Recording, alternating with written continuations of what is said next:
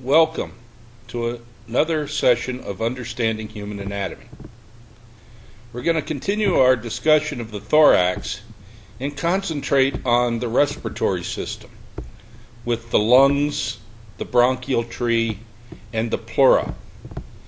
And in this first video, I want to talk mainly about the pleura.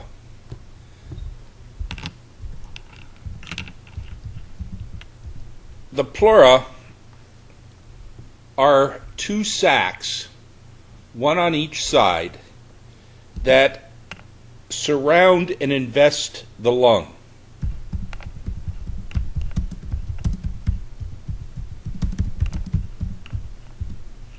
So there's a right pleura and a left pleura for the right lung and the left lung. The pleura is a serous sac.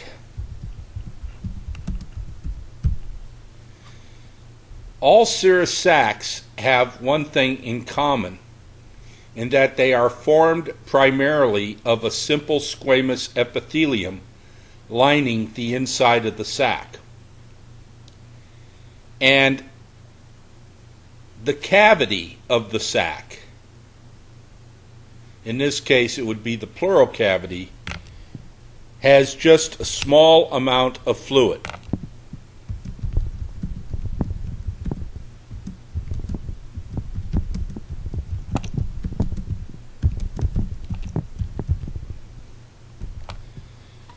Now, the pleura is one of three of the serous sacs we find in the body. The other ones being the pericardium and the peritoneum.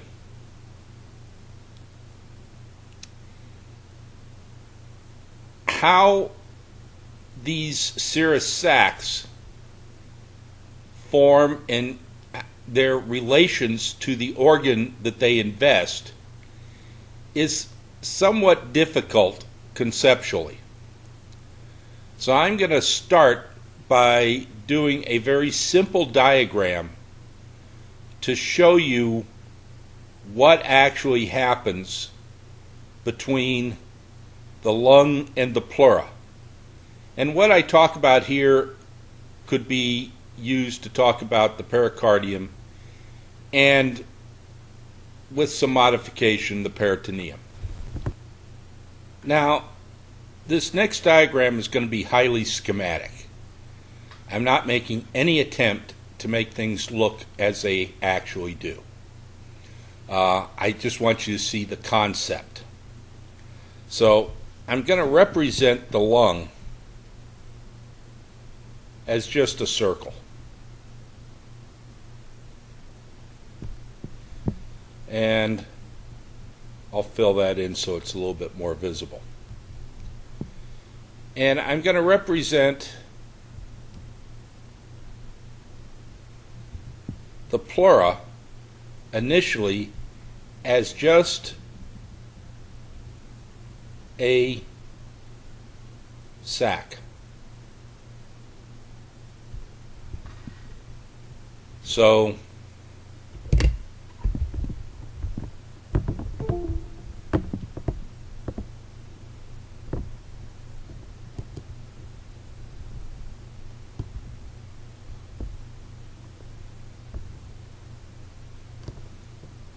This is the pleura.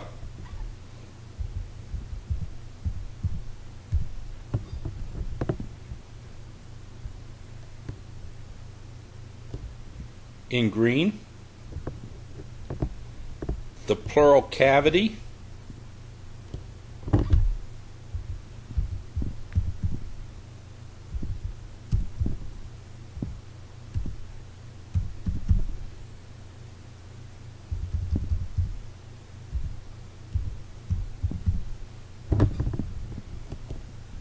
Is here and we'll draw a line into the cavity and then the lung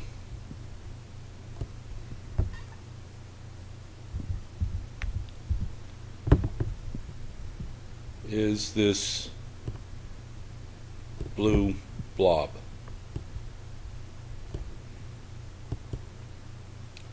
That's the starting point. What happens is the lung moves into the pleura. So, moving towards the middle of the page, let me again draw our blob-like lung.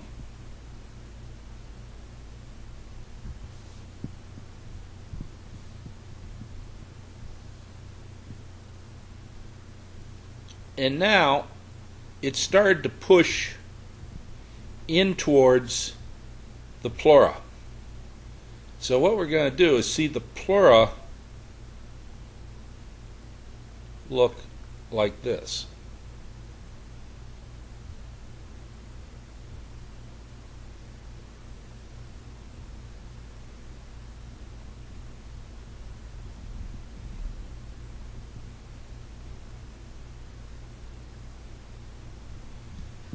So we got pleura away from the lung and pleura right smack dab on the lung.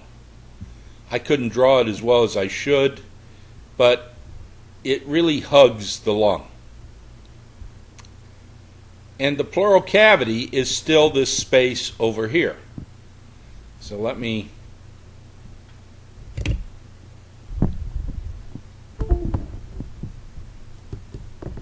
label again the pleural cavity.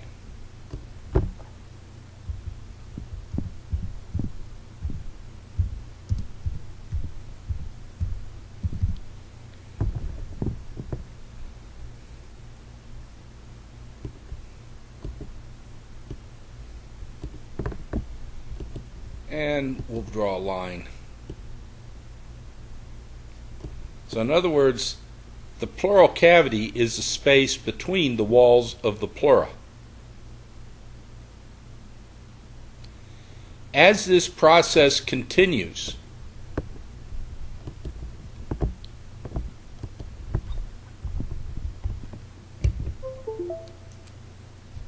we'll move over to the right and I'll draw our schematic lung again and color it.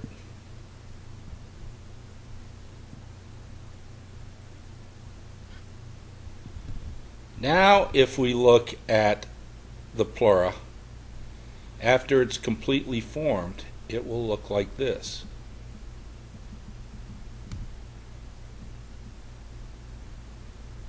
we have a layer of the pleura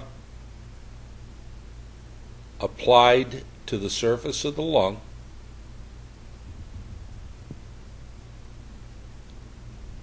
And then a line, a wall of the pleura away from the surface of the lung.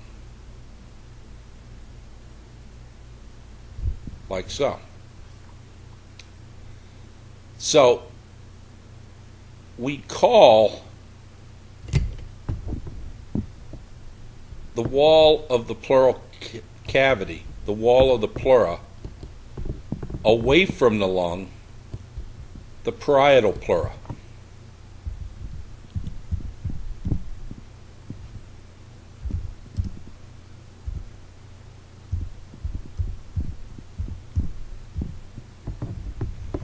And the parietal pleura is found against the chest wall, against the thoracic wall.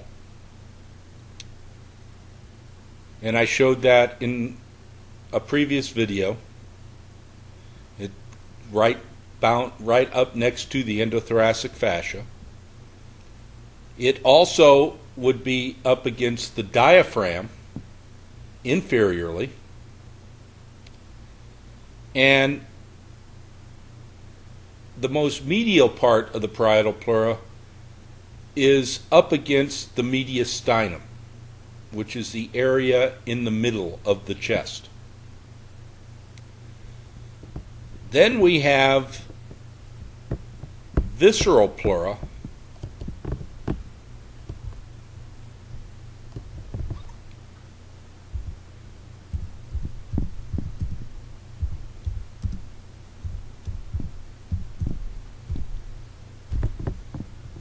And the visceral pleura is the wall that is applied to the outer surface of the lung. And it is tightly applied to the surface of the lung, almost as if it was part of the lung. And then we have the pleural cavity.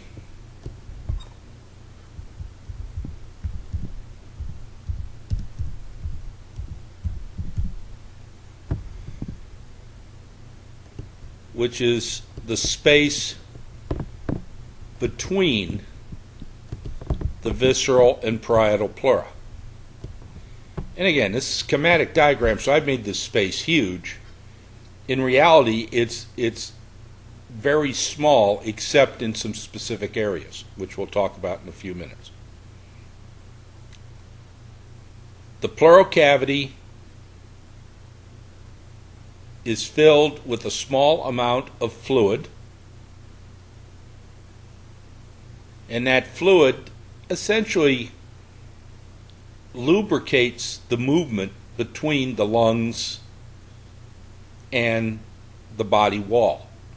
It acts a little bit like a bursa that we talked about previously. So, parietal pleura against the body wall, the diaphragm, or the mediastinum. The visceral pleura closely applied to the lung, and then the pleural cavity is the space in between. Now let's look at a more realistic diagram of the pleura. I'm still going to exaggerate the spaces. But so you see how it looks in the body. Now we'll start this diagram with the lungs already drawn in. And again, I'm not Frank Netter, I'm just trying to give you a general representation of the lungs. I will tell you that I've expanded the space in the middle. It's unrealistically large, um, but that gives me room to do the drawings that I need to drew, do. Um, and we'll add some things to this drawing. And the first thing I want to add is the diaphragm. And the diaphragm is skeletal muscle that separates the thorax from the abdomen. So it's a muscular wall. It is made up of skeletal muscle. The diaphragm is a domed muscle that bulges into the thorax. It's actually two domes, a left and a right, with a little decline in the middle. Like so. Now I've left extra space between the lungs and the diaphragm so I have room to sketch in the pleura. Now that I have the diaphragm in place, I want to sketch in the body wall.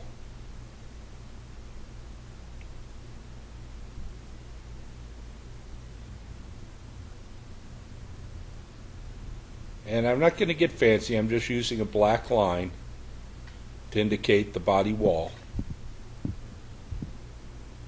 Over here on the other side, let me sketch it in like so. And I'm just using a black line to represent the body wall.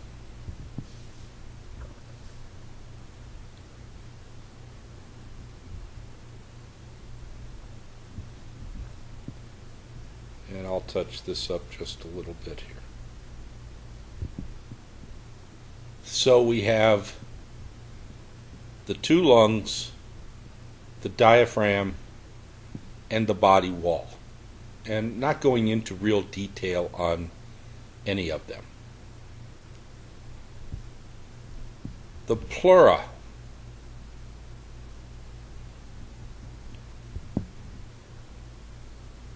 there is visceral pleura that clings to the surface of each lung. So I'm drawing that in on the left lung right now.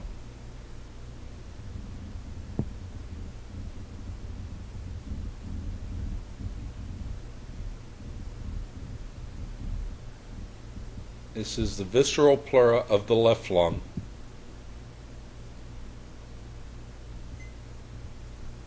And I'll draw in the visceral pleura of the right lung.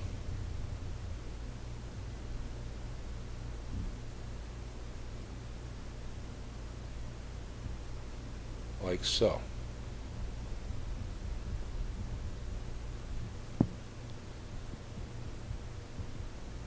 Then we need the parietal pleura. So the parietal pleura is up here and it adheres to the body wall and goes all the way down here and then back up over the diaphragm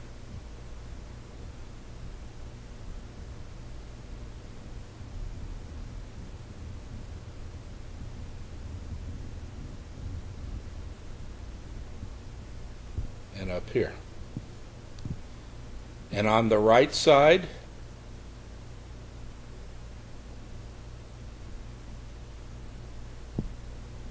we'll start, and again, against the body wall, like so.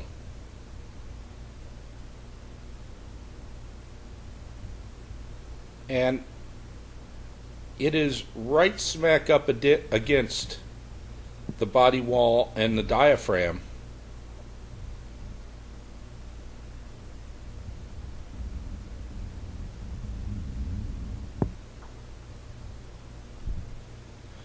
But it's not bound tightly. Remember, we have the endothoracic fascia between the parietal pleura and the body wall, so it, the pleura can be separated from the body wall. So let me put in some labels.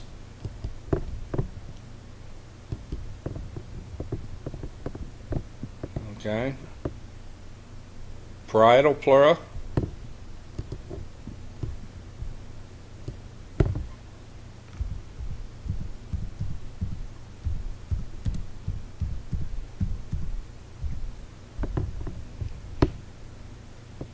And the parietal pleura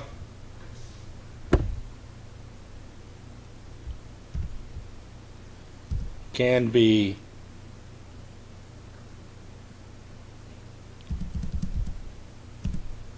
costal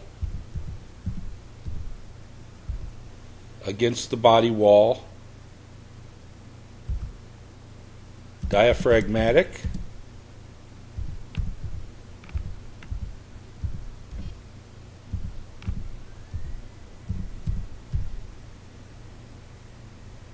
on the diaphragm, and mediastinal.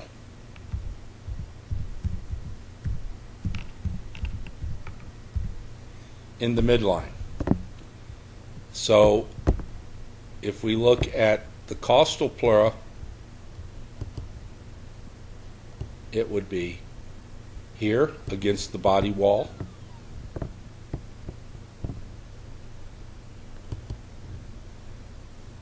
Diaphragmatic pleura is the pleura down here on the diaphragm itself. And the mediastinal pleura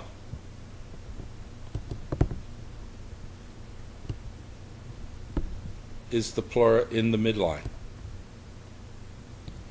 And then we have the visceral pleura.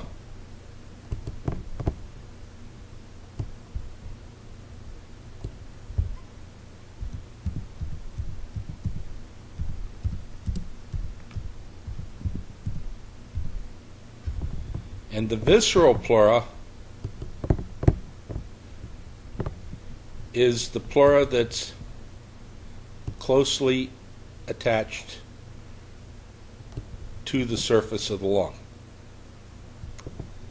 And then we have the pleural cavity.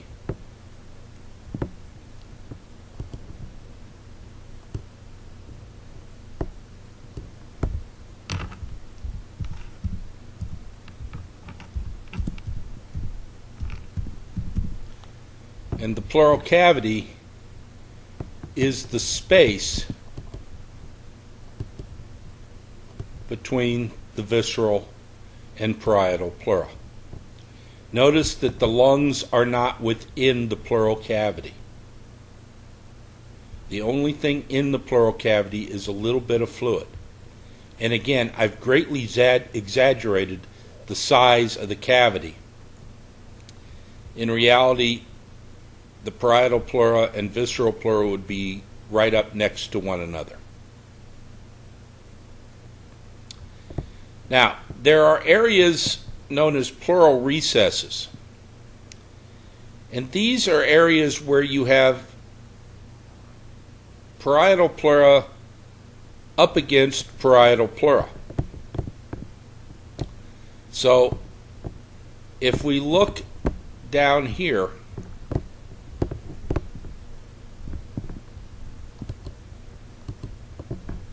look down in each of these diagrams, there's a space down here between the body wall and the diaphragm on each side where you have parietal pleura opposite parietal pleura. The lungs don't get down in this area. Now, when the lungs expand during inspiration, they will get further down in this area, but there's always a part of it that they never get to. This is a recess, and this recess is known as the costal diaphragmatic recess.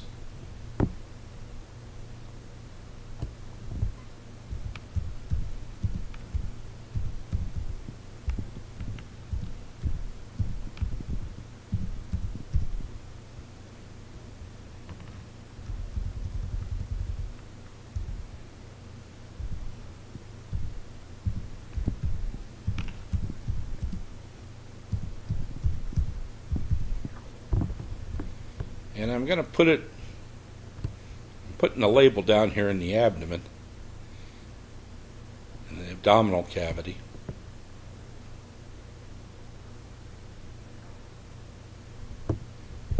And I'll then draw lines into the right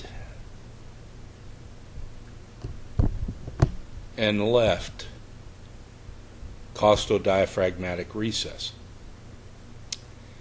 This recess is important because if someone gets fluid buildup in the pleural cavity, something known as pleurisy,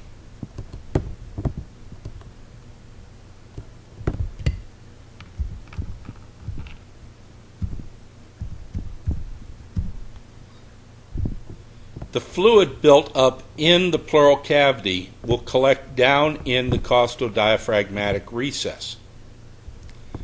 And sometimes this area needs to be tapped to drain that fluid and to help make a diagnosis.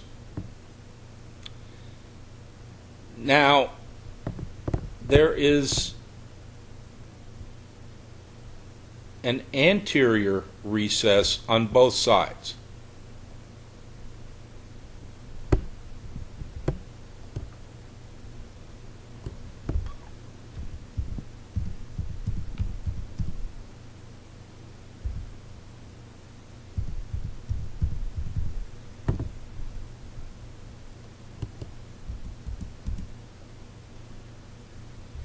And so I put the label in the middle here. Actually, the label is within the mediastinum. And I'm going to draw arrows to each of the anterior recesses. On the right side, the anterior recess is very small and, and really negligible. On the left side, in the area that we have the cardiac notch, there is a larger area of recess.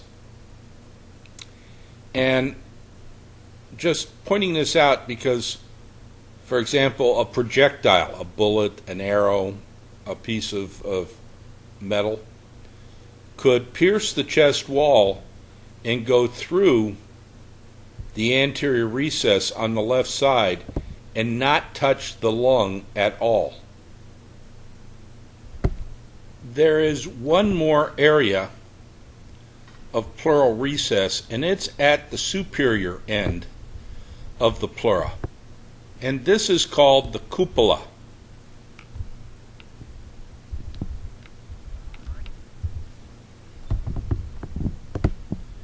And I'll draw an arrow to the cupola on the left side, being the analogous area on the right side.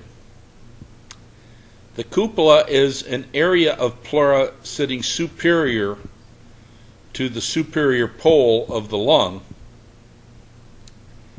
And one of the things that you need to understand is that the cupola actually extends up beyond the thoracic inlet. And it sometimes can be pierced if you have a penetrating injury in the base of the neck. And even though it doesn't get down here to the, the lungs itself, it can cause an entry of air into the pleural cavity, and that's something known as a pneumothorax. And we'll talk about that in another time. Then the area in the middle here, between the two parietal pleura, is the mediastinum.